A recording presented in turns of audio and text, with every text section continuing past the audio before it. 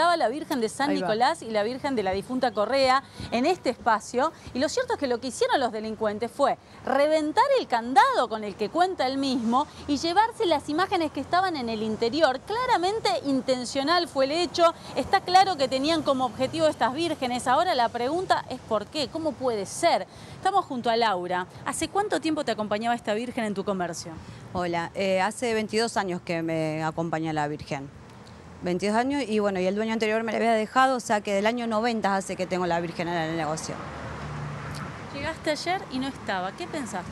La verdad que llegué y me di cuenta al rato, porque yo llegué 9 y media de la mañana y cuando salgo a barrer al ratito que había abierto el negocio veo que no estaba y bueno, ahí me agarró una desesperación, eh, tristeza. Eh, salí a buscar a ver si podía encontrarla, capaz que alguien la había dejado tirada, lo habían hecho de maldad nada más.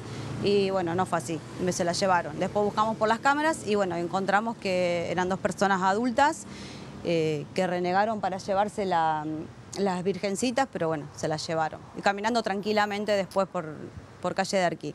Igual hubo un par de clientes que me decían, pero yo pasé a las 8, estaba, le recé, la toqué oh. y bueno, sé que fue cuestión de, de cinco minutos se llevaron la virgencita. No es una estatuilla más, no es un objeto decorativo. ¿Qué es lo que representa la, eh, la, Virgen para vos y para el barrio? Mira, eh, con la Virgencita hay mucha gente que ni siquiera es clienta mía, pero que pasa, le reza, le deja notas, le hace peticiones, llora con la Virgencita.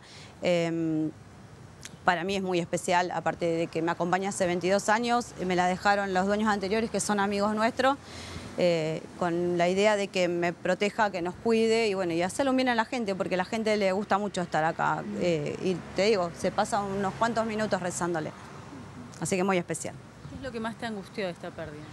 Que me la hayan llevado de esa manera, porque Nunca me esperé que me lo pasara. Me han roto un par de veces, así le techito, le he puesto otras rejas, le hemos cambiado el candado, qué sé yo, pero o sea, le robaban la plata que la gente le deja, ah. pero nunca, nunca me la habían llevado. Entonces como que ahora estoy pidiendo que por favor me la devuelvan, que me la hagan llegar de cualquier manera, que me la dejen en la esquina, en el cordón, no sé, en la iglesia allá en San Antonio, pero que me la devuelvan.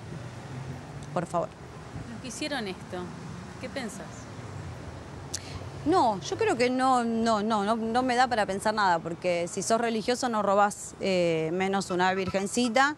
Y aparte son virgencitas de 30 años, o sea, que, están desteñidas, que, mm, que están rotas, tienen algunos caches, la capita que tiene, tiene una capita celeste, ya está prácticamente blanca.